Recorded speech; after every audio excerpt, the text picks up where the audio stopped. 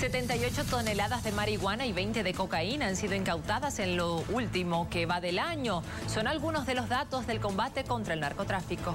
la Fuerza Especial durante toda esta gestión ha podido secuestrar eh, cocaína más de 19 eh, toneladas. Asimismo, en marihuana, lo que va de todo el año, tenemos 80 toneladas aproximadamente. Así mismo tenemos 35 avionetas secuestradas al narcotráfico. Hemos tenido más de aproximadamente 3.000 personas aprendidas entre bolivianos y extranjeros. Es el producto del intenso trabajo realizado por la Fuerza Especial de Lucha contra el Narcotráfico en esta gestión. Hemos superado especialmente en cuanto a marihuana, puesto que nuestro secuestro, especialmente en la frontera con el Paraguay, eh, ha sobrepasado las estadísticas del año pasado. ¿Cuál es el departamento donde más se ha podido atender casos? De...